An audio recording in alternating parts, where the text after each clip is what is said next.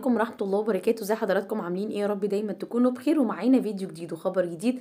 بس يا ريت قبل ما نبدأ خبرنا ما ننساش نعمل like ونشترك في القناة. وقبل ده كله نصلي على سيدنا محمد. اللهم صلي على سيدنا محمد. وعشان نكون منصفين وحقانيين يا جماعة في فيديو انتشر على ال social media وسائل التواصل الاجتماعي لأبو جبل. لكن ده طبعا فيديو قديم وبيظهر إن هو بيغني من معسكره في نادي الزمالك وإن هو مش همه وبيتجاهل كل اللي حصل ده وكل الانتقادات اللي اتوجهت له كلام سمرة وانتق... وتجاهل كل الكلام ده وبيغني وعايش حياته عادي ولكن دي مش الحقيقة خالص.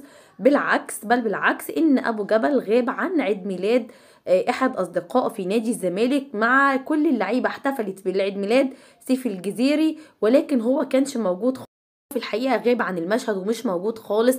حتى النهارده لما كان بيلعب في ماتش الزمالك والزمالك اتعادل 2 2 النتيجة يعني سلبية ولا هم كسبوا ولا دول كسبوا ولا دول كسبوا. المهم هو برضو كان ما يعني ما كانش باين عليه إن هو فرحان خالص ربنا يوفق الأحوال يا رب. ده بس عشان نكون منصفين ومحدش يفتكر إن الفيديو المنتشر على ال social media ده إنه فيديو جديد. لا حرام ده مش فيديو جديد بل بالعكس زي ما قلت لحضراتكم ووريت لحضراتكم إن كان في عيد ميلاد لعيب من من لعيبة الزمالك وهو ما كانش موجود وما حضرش العيد ميلاد.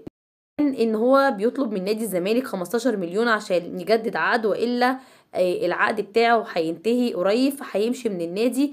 لكن طبعا الزمالك حدد له 12 مليون وهو بيتفاوضوا مع بعض في إن هو ياخد 15 مليون لمدة أربع مواسم جايين. وطلع تصريحات من السعودية إن يعني من نادي سعودي إن طبعا أبو جبل هيروح ويلعب هناك. ولكن أبو جبل نفى الكلام ده وقالوا إنه ده ما حصلش وإنه مفيش أي تصريحات وان هو لسه موجود مع نادي الزمالك. أصلا ما طلبش منه إن هو يجي خالص و... والكلام كله اللي بيتقال إنه الأهلي كان طالب أبو جبل إنه ده أصلا ما حصلش وما تقدملوش أي عرض من الأهلي خالص. وموسيماني كمان قال إن هو مش هينفع هو والشناوي مع بعض لأن أبو جبل بيعمل مشاكل لأنه ما بيرضاش يقعد يعني احتياطي ومحدش طبعا الشناوي يعني كابتن كبير ولاعب كبير ومش هينفع إن هو يقعد على الاحتياطي فهيبقى في مشاكل وخناقات. هو عايز يجيب حارس مرمى يقعد ويقعد ساكت ما يتكلمش لأن أبو جبل عمل مشاكل مع جنش وعواد في نادي الزمالك لما كان قاعد على الدكة.